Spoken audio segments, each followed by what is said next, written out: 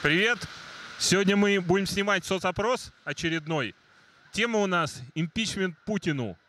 За, против, сейчас спросим людей, кто как думает. Перед тем, как видео снимать, мы решили сразу на видео зачитать э, вот несколько причин, по которым Путину можно выдвинуть импичмент. Несколько причин таких. То есть несколько, 29. Значит, зачитываю. За его 17 лет, за подводную лодку «Курс», за Полоний, за Сирию, за то, что ситуация в стране стала хуже, чем в 99 году, за доллар в 60 рублей, за 90% роста безработицы с 2014 года, только в Питере в одном, за Чечню, за Кадырова, героя России, за Грузию, за Украину, за Крым, за то, что все свое правление замыкал все на Запад а потом сам с ними разругался по своей же глупости. Заведенная эмбарго, за нарисованные выборы, за Единую Россию, за вранье по телевизору, за все невыполненные обещания, за то, что он в принципе ни одного обещания не выполнил, за его цензуру, за то, что ни одна проблема граждан Российской Федерации даже не решалась системно, за четыре дорожных налога, а может и больше – за запреты митингов, за то, что в РФ за все годы его правления не проведено ни одного референдума, ни по одному вопросу, за то, что более половины граждан РФ получают 25 тысяч рублей и менее, за рокировки с Медведевым, за офшоры, за друзей его, которых он посадил на газ, нефть и остальное, и дал им возможность распоряжаться этим как своим. За его махинации в Питере в 90-е и за бездействие, находясь на посту президента РФ. Вы за или против импичмента Путину? Я не знаю, что такое импичмент. Это взять его и уволить. Нет, я против того, чтобы его уволили. Хотите, чтобы он дальше был президентом? Да. Ну, за. Вы больше не хотите, да, чтобы Путин президентом был? Ну да. Молодой человек, тут мне сложно однозначно сказать. Очень тяжело, потому что вещи очень глубинные происходят у нас в стране. Поэтому, как по мне, нет такого... Ну, если бы сейчас решалось, то вы бы были за, против и, или никак? Нет, я бы устранялся. Брать на себя такую ответственность. Воздержались бы, да? Конечно, безусловно. Ну, я честно, в политике не очень, я насчет этого не разбираюсь. Я вообще с Крыма приехал еще недавно буквально. Ну, еще как бы не уяснил толком политику. Вот именно Владимир Владимирович. Но я, если честно, за его приоритеты. То есть вы против импичмента? Эм, знаете, как вам сказать, э, в президенты просто так не выбирают, правильно? Плюс его очень большой послужной список. Много лет он уже там. Много лет, да. И, Плохо, да? Знаете, как э, некоторые шутят, там все остальные все пропадут, а Владимир Владимирович-то останется. И знаете, как в Камеди была такая ситуация. Мэры, мэры меняются, меняются, все остальные люди меняются, а все равно будет Владимир Владимирович. Так что я, я за его политику, большую часть. Против, конечно. Хотите, чтобы он дальше, да, оставался? Да. Э, как бы на этот вопрос как бы точно не могу ответить, но на самом деле вот Навальный, у него правильная позиция. Тебя поставить, чувак. Меня не, да бог с ним. Просто идея в том, что как бы Навальный он реально э, действительно как бы дает правильный пример и правильную позицию просто людям показывает, как нужно. То есть э, полная смена власти, полная смена вообще э, представителей власти. То есть Путину надо уходить, да? Путину, Медведеву, всем чиновникам, вообще вс всей Думе, всей Думе нужно просто... Тебе полная, можно это? Э, тебе пизда, чувак. Вот это, это, это сейчас вырежут, не надо. Пускай, пускай не вырежем, хорошо. А на каком канале это можно посмотреть? Отлично. Uh, реально, я вот действительно за то, чтобы просто вся власть ушла, просто чтобы вся власть ушла, потому что в этой стране анархия сплошная. И я уверен, что до гражданской даже войны оно недалеко. И это, это действительно скоро будет. Мне все равно. Вас совсем вот не, не волнует судьба его и ваша? Он же президент. Я не думаю, что что-то изменится. Если его убрать, ничего не изменится, да? Да. Знаете, честно говоря, пытаюсь держаться от политики подальше, потому что в этом абсолютно не разбираюсь. И как бы у меня нормальная жизнь, у меня все хорошо, и, честно говоря, не вижу смысла менять. Ну вот если бы голосовали, вы за, против или воздержались? А, Наверное, за, думаю. За. Да против, конечно. Хотите, чтобы он дальше был президентом?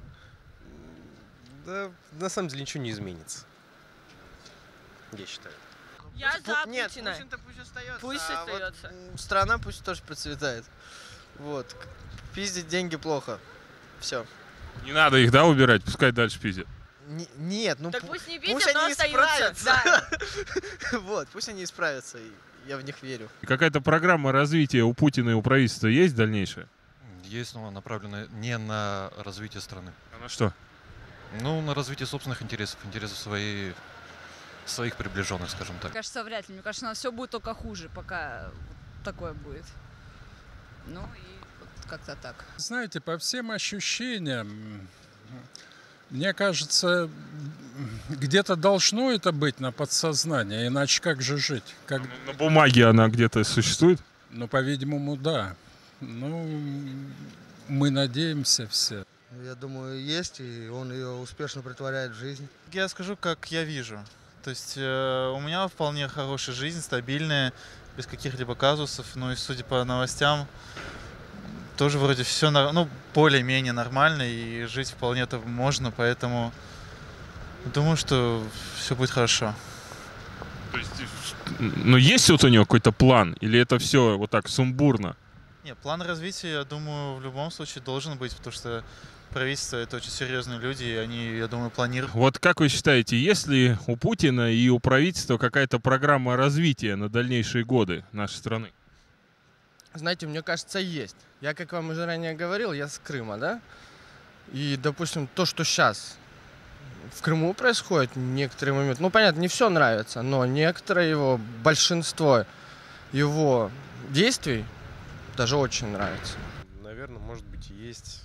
Не думаю, что нам это как-то известно. Можно только догадываться. А в чем вот она заключается, вы предположить не можете? Если она есть вообще. Скорее всего, наверное, делать образ э, развития страны э, путем каких-то, может быть, нововведений, еще чего-то. То есть сотрудничество с другими странами. Но не думаю, что, что это, все это серьезно. Наверное, скорее всего, более как облачная такая показуха. То есть на вид. Да, на вид. То есть красивая обложка, внутри обычная конфета. Нет, нету. К сожалению, нету. Нету. Конечно, есть. Я даже могу сказать, какая. Путин, да, как э, внутренний, э, пол- п- как внутренний политик, он, конечно, слабый. Но как внешний политик, ему в нашей стране альтернативы нету, поэтому Куда он нас ведет? Куда ведет? В пропасть.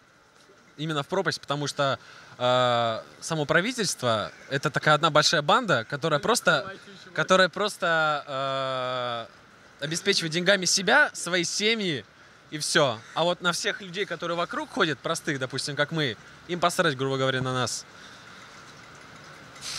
Я, я просто не знаю, об этом можно говорить бесконечно. И пока действительно вот такие люди, как Навальный, не придут к власти, ничего не будет меняться в стране. К развитию промышленности, экономики. Э, Потому что Крым курорт, э, но он был немножко в неподлежащем состоянии. А сейчас его приводят в порядок. Возьмите тот же самый Артек. Я живу напротив лагеря Артек. Довольно-таки есть некоторые вещи, которые там противоречат местному жительству, но есть те, которые очень довольно-таки благосклонны. А вот можете предположить, в чем она заключается, эта программа? Куда мы идем? Куда мы идем? Ну, как по мне, сейчас, мне кажется, сейчас очень сильное противостояние. Вообще в мире очень стал агрессивен и тяжел. Поэтому, конечно, мне кажется, надо хотя бы удержать какую-то сейчас стабильность. Понимаете? Потому что, ну, события с Украиной нам показали, чем это может кончиться и к чему это приведет. Под всеми, так сказать, прекрасными лозунгами, понимаете? Ну, мы же наблюдаем. И я, у меня есть там родственники на Украине, я созваниваюсь иногда. Вы знаете, действительно, атмосфера и состояние очень тяжелое. Россия еще крупнее страна, понимаете, если, конечно, это мой личный субъективный взгляд. Если это все расшатать, не знаю, как бы трагедии не было. Поэтому, ну, надо ждать, надо надеяться все-таки, что время покажет, на какой курс мы выйдем. Понятно, вроде бы внешняя политика всех устраивает, сплотила нас, организовала. Но с, с внутренней как-то тяжело, понимаете? И поэтому, конечно, протесты, негодования, они естественны. Понимаете, в чем дело? Ну, я опять говорю, это палка о двух концах, поэтому я не политический деятель. И так со стороны только смотрю на эти вещи. Ну, вот такое мое мнение. А в чем она заключается? Ну, Пока не знаю. А вам не интересно, куда мы катимся? А мы куда-то катимся? Не, ну вот вы... Нормально все, да? Да. К развитию, наверное, к более важной роли России в мире. Чем более важна роль, тем больше мы можем себе позволить. Я думаю, к этому. Бля, такие провокационные вопросы. Загуглишь? Как, как вот думаете, так и говорите. Я думаю, что он сейчас занимается в основном внешней экономикой, потому что если он сейчас ее забросит, нам пизда. Вот. А к чему вот это внешнее? Что он хочет-то? Наладить отношения с другими странами, в принципе, мое мнение. Да.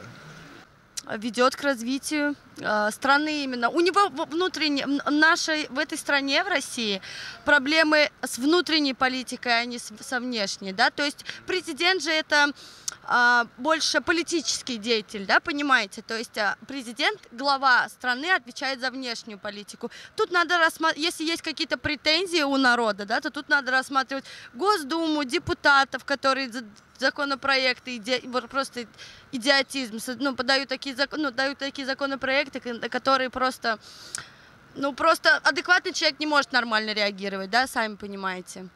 Вот. А к Путину никаких претензий нету. Как как президент страны, он выполняет все свои обязанности. Да, там Медведева что-то последнее время там что-то подозревают в коррупции, не в коррупции, да, там. Я, я вот это слышала. По поводу Путина не знаю, но то, что там Медведев берет, все берут. Все берут. У вас была бы возможность, вы бы тоже брали. Вот, поэтому обвинять одного человека со стороны народа тоже не самое умное